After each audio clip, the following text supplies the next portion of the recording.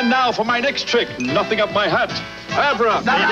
McDonald's Happy Meal. Hamburgers. Soft drink and fries. All regular size. Pretty good trick, guys. but what'd you do with my rabbit?